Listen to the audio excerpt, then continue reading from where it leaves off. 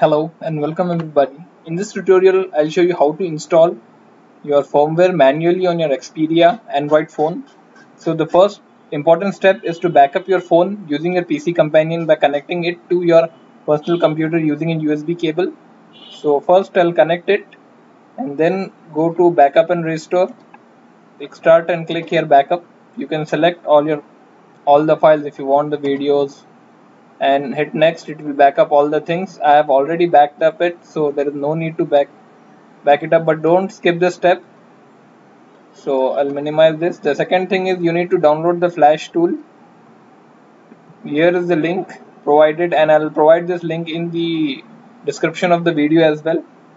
So I have already downloaded it as well as I have already installed this flash tool. You can down you can install it by just clicking the instructions and following the instructions. So I've already done this so I will just cancel it. And after your installation is complete you need to go to this folder. Your uh, flash tool will be installed in C drive flash tool. And you need to go into this driver folder and run this flash driver executable with admin privileges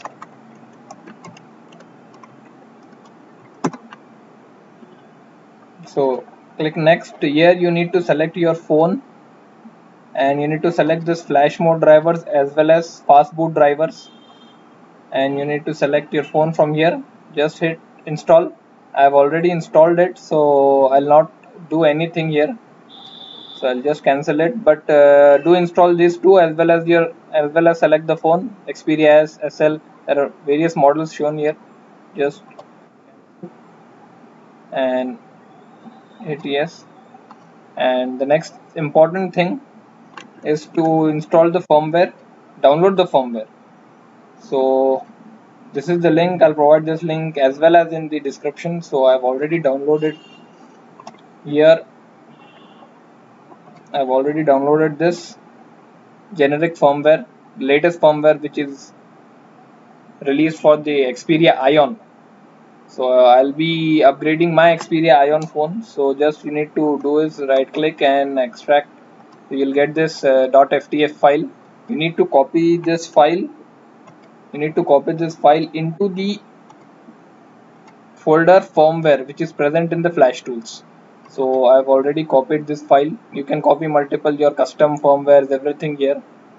And once it is done what you need to do is you need to run the flash tool 64 bit as well as you need to run that.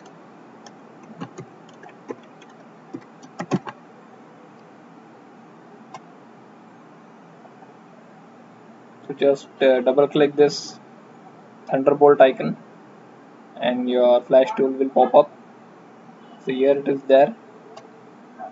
So just wait for it. And once it is there you need to disconnect your phone. So here you once you have disconnected you'll see that device disconnected. The next important thing which you need to do is to go to the settings of your Android phone and enable USB debugging mode. So once you go into the settings go into the developer options.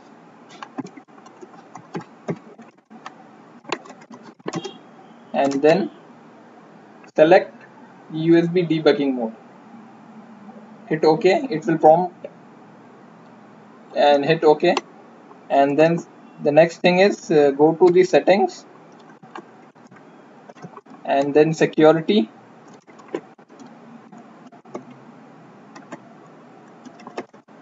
and select the un unknown sources.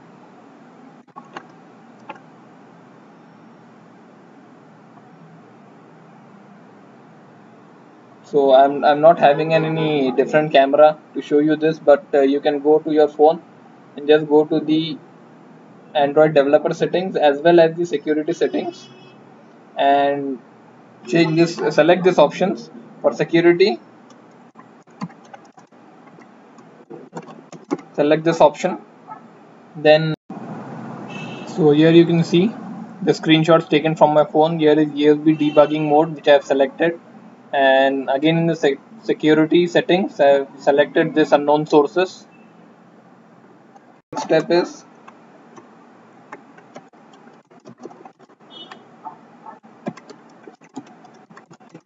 switch off your phone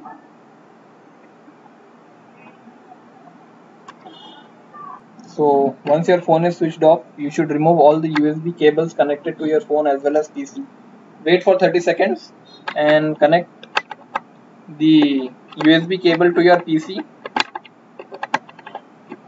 and then you need to open your phone into the flash mode. So to start your phone in the USB flash mode what you need to do is you need to switch off your phone first and then plug the USB cable to the computer and here you can see the volume down key. So you need to um, insert the USB cable along pressing the volume down key. So I'll press the volume down key first. And while pressing I'll insert this USB cable into it.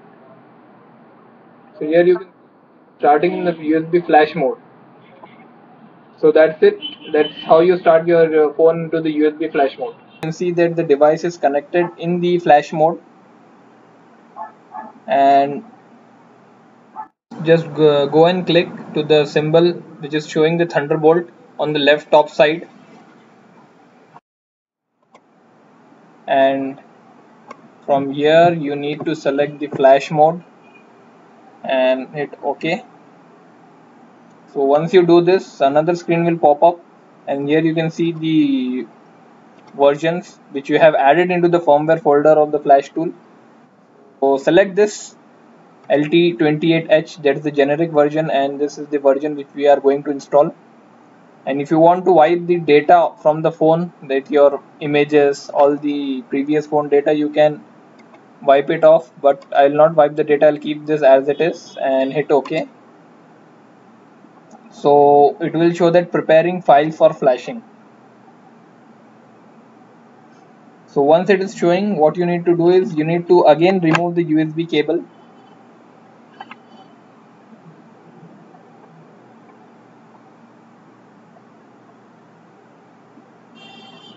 And turn down your phone. And then again you need to open it into the USB that is your flash mode by holding down the volume key and connecting the USB cable. So here you can see that it's it says that unplug the USB cable. The again it will it has started the flashing process. So this process will continue. So here you can see the progress. It is 4% done 5% done. We will wait for this. Just sit back and so here you can see it's almost complete you can also also install any custom firm firmwares on your Xperia phone. Just you need to do is download the firmware and keep it into the firmware folder of the flash tool which you're using to flash your Xperia phone. Just keep it select it follow the steps. Every step is same. And you need to follow the same steps but just you need to select which uh, firmware you want to install and you are done with that. So it's almost complete here. So here you can see that the flashing has been finished. Just you need to unplug your phone and you need to restart your phone. That's it. Your restart will take some time. So don't be afraid. Just uh, sit back and enjoy. So I'll disconnect the phone. So here your device is disconnected. Restart your phone and that's it. It will so here you can see that your Android version has been updated if you go on continuously clicking on the Android version you can also see the, the animation of the jelly bean. So that's it. That finishes the manual firmware upgrade. Be done. I hope you have enjoyed watching the video and I hope that this has been informative for you. And I'd like to thank you for viewing. For more videos, you can log on to www.technologylair.org or you can visit my YouTube channel www.youtube.com slash technologylair